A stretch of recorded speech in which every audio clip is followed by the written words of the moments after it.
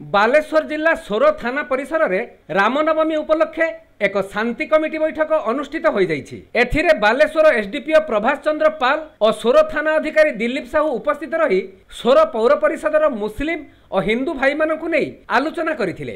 ଏହି ଉତ୍ସବ କେମିତି ଶାନ୍ତି ଶୃଙ୍ଖଳାରେ ଅନୁଷ୍ଠିତ ହେବ ସେ ନେଇ ସେ ସମସ୍ତଙ୍କର ମତ ଲୋଡ଼ିଥିଲେ। ଶେଷରେ ସମସ୍ତଙ୍କ ସହମତି କ୍ରମେ ସୋରରେ ରାମନବମୀ ଖୁବ୍ ଧୁମଧାମରେ ପାଳନ କରାଯିବ ବୋଲି ଘୋଷଣା କରାଯାଇଥିଲା। ପୋଲିସ ପ୍ରଶାସନ ତରଫରୁ ସମସ୍ତଙ୍କୁ ସହଯୋଗ କରାଯିବା ସହ ଶାନ୍ତି ଶୃଙ୍ଖଳା ବଜାୟ ରଖିବାକୁ ଏସ୍ଡିପିଓ ସମସ୍ତଙ୍କୁ ପରାମର୍ଶ ଦେଇଥିଲେ।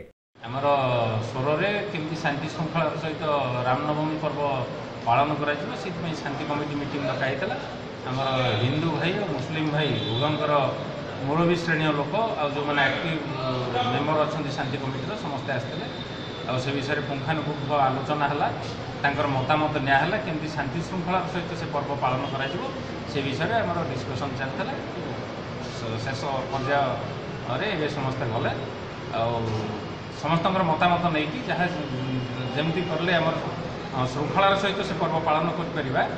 ସେଇଟା ସମସ୍ତେ ସଜେଷ୍ଟ କଲେ ଆଉ ଆମେ ସେଥିପାଇଁ ବିହିତ ପଦକ୍ଷେପ ନେବୁ।